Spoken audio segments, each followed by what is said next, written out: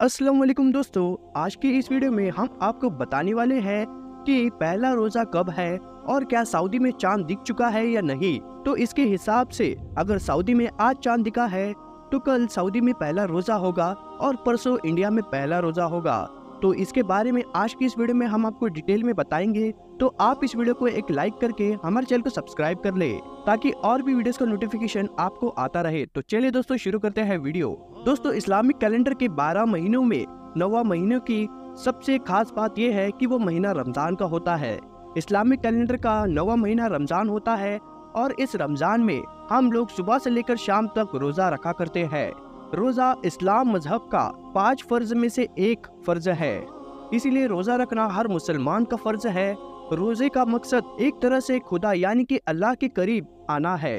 वही शाबान महीने के आखिरी दिन, चाँद का दीदार होने के बाद ही रमज़ान की सही तारीख का पता चलता है। हालाँकि, अभी तो ये कहा जा रहा है कि रमज़ान की शुरुआत 11 मार्च से हो सकती है।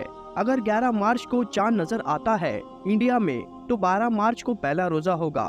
यानी कि दोस्तों, अगर सऊदी अरेबिया में आज संडे को अगर चाँद नज़र आता है तो कल मंडे को, यानी कि कल 11 तारीख को सऊदी अरेबिया में पहला रोजा होगा और इंडिया में 12 मार्च को पहला रोजा होगा। तो दोस्तों, अगर इंडिया में 11 मार्च को चाँद नज़र आता है तो चाँद नज़र आने की अगली सुबह से रोजा रखने की शुरुआत होगी। इस साल पहले रोज़े की सहरी सुबह पाँच बजकर चार मिनट पर की जाएगी और इफ्तार शाम छह बजकर तीस मिनट पर होगा। ऐसे में इस साल में पहला रोजा तेरह घंटे उन्नीस मिनट का होगा।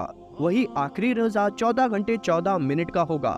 तो दोस्तों, ये रोज़े हमें मुश्किल ना जाए, ऐसी अल्लाह से हमें दुआ करनी है और ये रोज़े हमें आसान जाए और हमारे फिलिस्तीन भाइयों के लिए भी हमें बहुत सारी दुआई करनी है। दोस्तों, रमज़ान के दौरान मुसलमान रोजा रखते हैं और अल्लाह की इबादत में ज़्यादा से ज़्यादा वक्त बिताते हैं। दोस्तों, अरबी जबान में रोज़े को सबर भी कहा जाता है। इसीलिए ये सबर का रोजा होता है, जिसमें हम बहुत सब्र करते हैं हमारे खाने पीने के लिए। इस तरह से रोजा सब्र करना सिखा देता है और रोज़े में भूखा रहना ही सब्र की एक निशानी है। इस दौरान नीयत भी साफ़ होनी चाहिए, तभी रोजा मुकम्मल होता है।